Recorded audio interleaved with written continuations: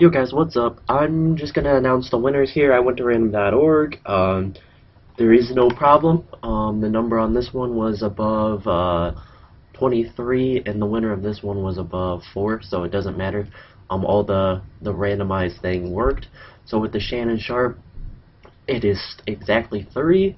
So 38, 37, 36, 35, 34, 33, 32, 31 uh, contract extension, whoever's contract this extension this is, congratulations. Um, I had you guys send me the message because I thought I'd get more offers than this, but uh, I didn't, so we don't have to worry about that, that confusing thing that I don't think all of you did. On the Marshawn Lynch, it was number 7, so 12, 11, 10, 9, 8, 7, 6, no, 7, right here. Um, 92, Michael Irvin. Uh, so congratulations, whoever's 92 Irvin that is. Um, Warren Moon, it was number three. So, contract extension. Dun, dun, dun, Lots of contract extension people winning. Um, Mackey, it was six. So, eight, seven, six. Wow, another contract extension. Holy crap. Contract extensions are winning left and right.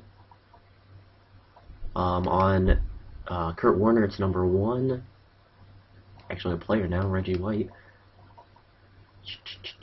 Kurt.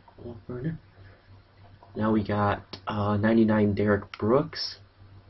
Um, he how many offers were there on this one? Let me make sure I get this one right. This one was four.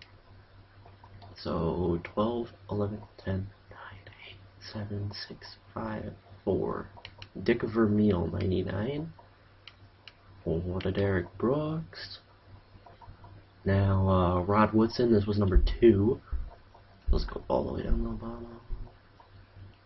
Wow, freaking contract extensions. it's ridiculous. Rod. Okay, Kellen Winslow Sr. was number seven. Freaking contract extension.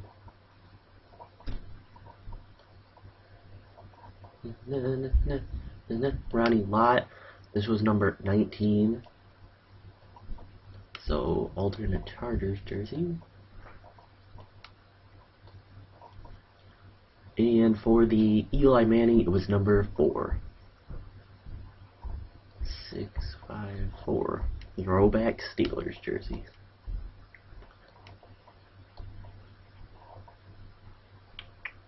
Okay, so I hope you guys enjoyed the video. If you could drop it a like, show me a little support for giving um, the cars away to you guys. Um, let me know if you liked um, me doing giveaways. I can probably do them at every like kind of milestone I reach. Um, so, um, yeah, I will catch you guys later. Peace out.